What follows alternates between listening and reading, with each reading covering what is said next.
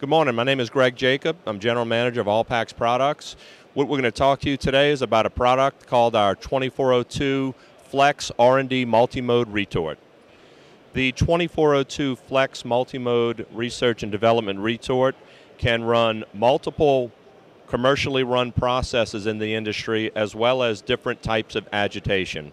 The 2402 Flex R&D Retort comes complete with an Allen Bradley PLC control system and the Allpax host monitor system where we can select different types of processes and agitation modes as well as control the tight process parameters required by regulatory and offer printouts and logs at the end of the process that also meet CFR 21 Part 11 code of the federal regulations.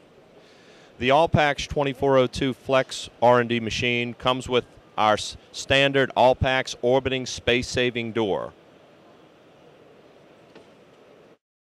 The 2402 Flex Retort has an agitation mode that's called gentle motion, in which plants can use this to agitate either pouches or containers laid horizontally to get faster process times. This same machine can also operate the patented Shaka mode of operation, which puts containers into the G-force range to get very vigorous agitation speeds and cutting down process times as much as 95%. The other agitation styles available with this same machine are rotary end over end agitation and axial agitation to simulate Sterilmatic processes.